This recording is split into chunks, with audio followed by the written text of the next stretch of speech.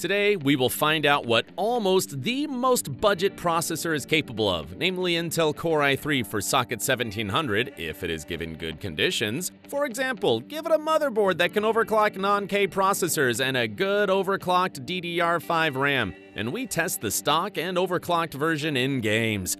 And we also compare this $100 i3 with the most powerful i9 14900K for $600.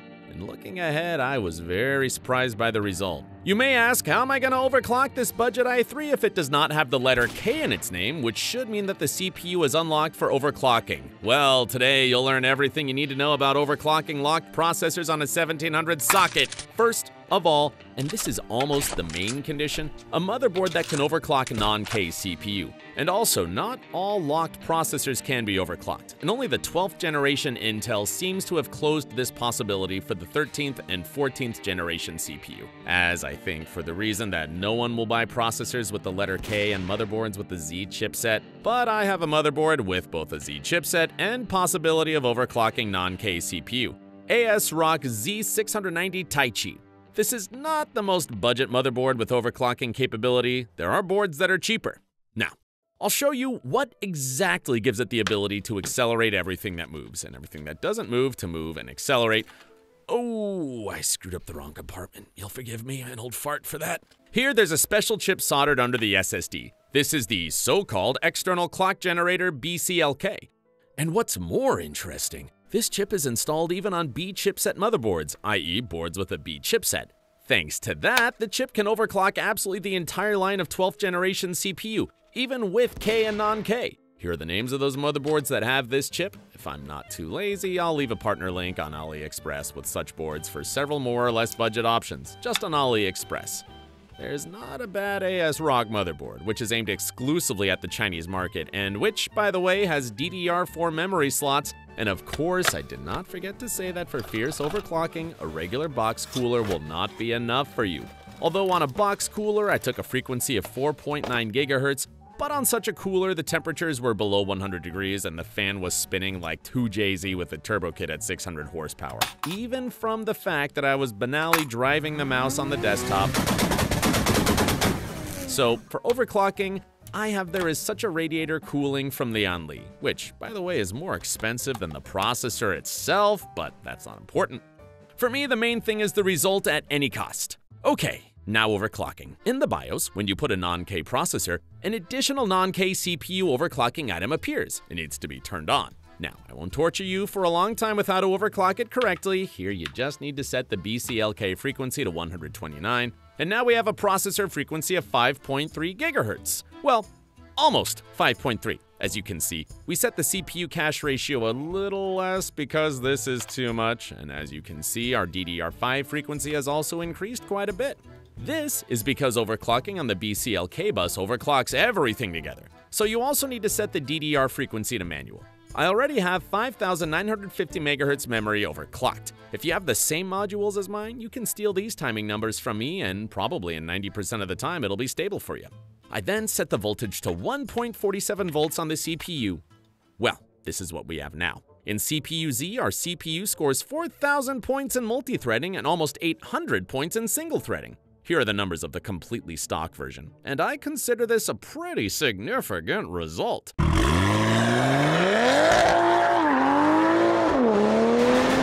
In Cinebench, our processor overtakes the notebook 8-core i9. At the same time in load power consumption reaches 110 watts. The stock version consumes only 40 watts in the video rendering in Sony Vegas. The overclocked i3 on its powerful 4 cores and on 8 threads caught up with the 18 cores 36 threads Xeon, which is absolute madness considering that the i3 has only 4 cores.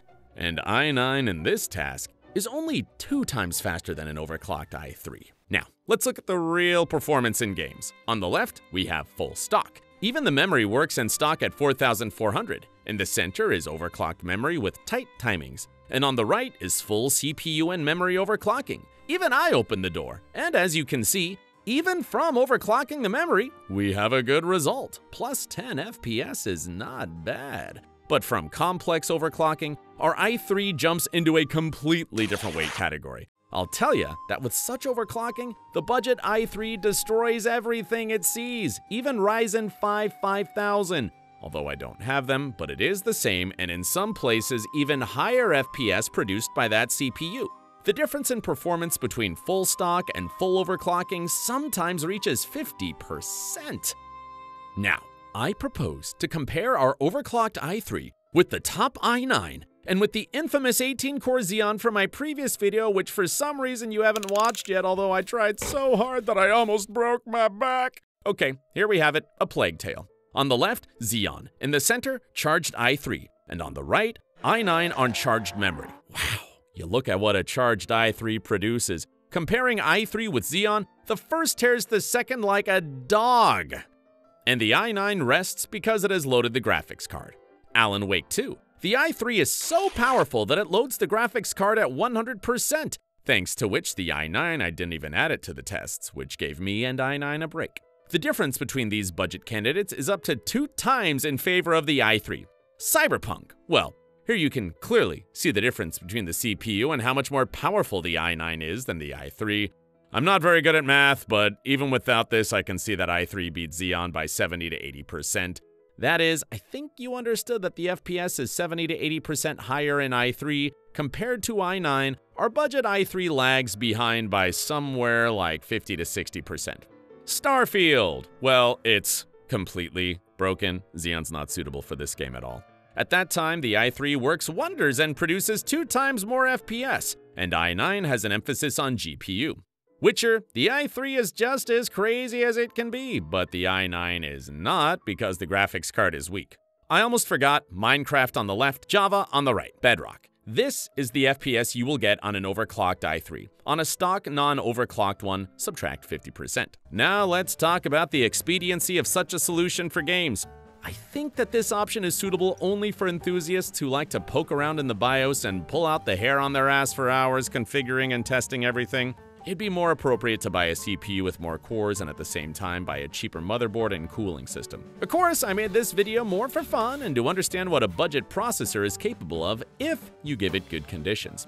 I wanted to assemble a similar but more budget PC with the possibility of overclocking the 12th generation of all processors, then I would choose the same motherboard from ASRock aimed at the Chinese market, ASRock B660M PG Riptide on cheap DDR4 memory with an i5 12400 processor. It already has 6 cores, 12 threads, that's quite enough for modern games, and if it is also properly overclocked, by the way, it takes 4.9 GHz from almost everyone. Then it'll be almost like 13,600K in games.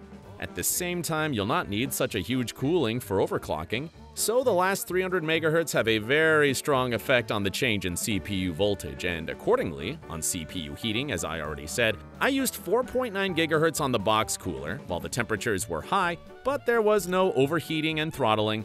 I'll not show it because I'm too lazy to tear off the water cooling plate from the back of the motherboard and remove the board from the case. Moreover, this plate sits very firmly. In short, if the box cooler almost coped with overclocking, then some tower cooler will cope even more. As you can see, even an i3 on a cool motherboard and normal memory turns into a cool game processor that destroys everything it sees and is able to fully load any modern gaming graphics card. Although, as an upgrade option, this option is also suitable. Plus, in some online games, this i3 has even more FPS than the i9. Although if you turn off all the cores on the i9 and leave only 4, the FPS on the i9 will be even higher. But people with 46 chromosomes do this, they will not. Subscribe and see you soon.